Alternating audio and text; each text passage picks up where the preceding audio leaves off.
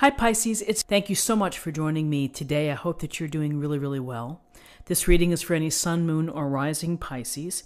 We will take a look at the cards. We'll get a sense of the awareness for the week, guidance, and possible outcomes. I will also choose a couple of oracle cards for additional information. So let's just get started with your reading.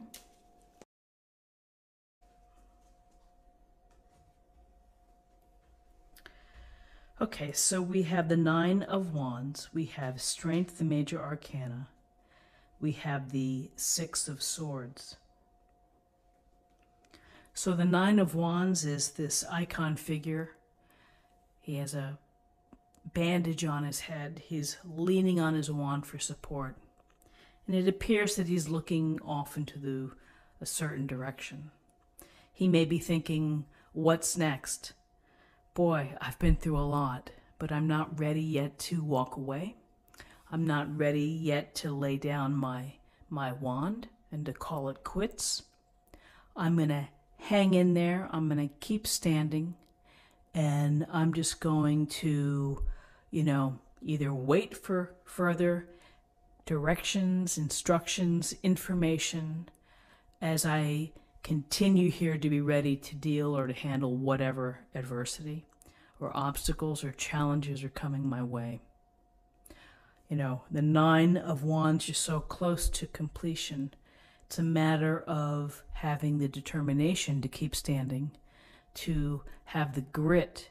And the word I always feel with this card is tenacity to protect your interests, or perhaps you're protecting your family's interests or someone that you care about or that you love.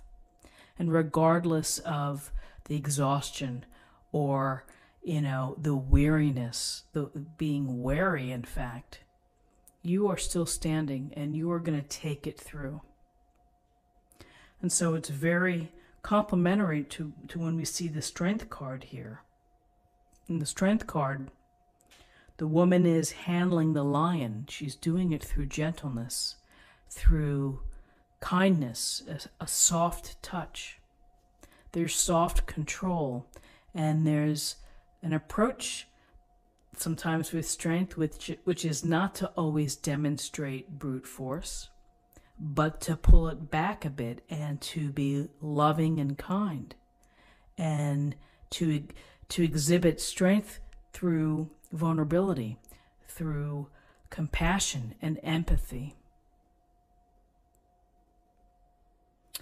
And you know, the, the, with strength, there's an understanding that we know that deep inside of us, our heart can carry us forward. Our heart can allow us the courage to do amazing things. It can, um, you know, inspire us to be brave. And that bravery and that courage, that comes from within.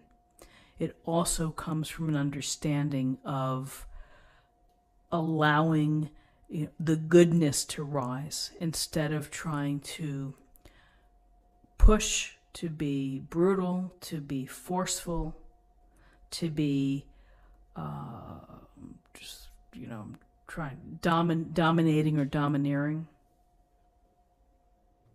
So we see strength here, this inner strength, which is going to allow you to continue to stand tall, to protect your interests, to defend your ideas, whatever it is that applies to you. So, what's interesting here is the Six of Swords. This is a card of movement, it's a card of transition. And we see the oarsman providing support and helping the two icon figures in the boat. We see the rippled water, we see the clear water, moving from a situation that has not served you, that you feel either stressed out about, upset, unhappy, whatever it may be. It's significant enough that you're going to move on. So sometimes these are permanent moves. We just feel that we have to pick it up and we have to leave. We either have to leave a relationship that is toxic or negative or stagnant, or we have to leave a job, we have to leave a community that isn't supportive, and we need to find the support that we need in order to get to that better place. And for some, maybe this is a temporary leave in order to sort things out, in order to get perspective, maybe get more answers from within and externally too. And perhaps you may you'll be able to go back. So this is a ship or a small boat that is sailing. Now on a literal level, it could very well mean that you're traveling or that you are taking a boat and headed off to somewhere. So we have a case here where we are showing a lot of determination and a lot of strength to handle something that's uh, maybe bugging us or in our way or causing us to feel unsettled, uncertain, you know, putting us maybe in a defensive position, but we're not going to back down. And ultimately, what happens here may dictate or may lead to movement, to transition, to finding clearer waters, to finding more peaceful and serene um, places for you. So, interesting cards. Let's take a look at what we have for numerology. We have 9 and 8 is 17, 17 and 6 is 23, and 23 reduces to 5. 5 is about challenges. It can be about having to be flexible and to adapt. It also can suggest new cycles, you know, finding freedom. And then finally, let's choose an oracle card as an affirmation for the day.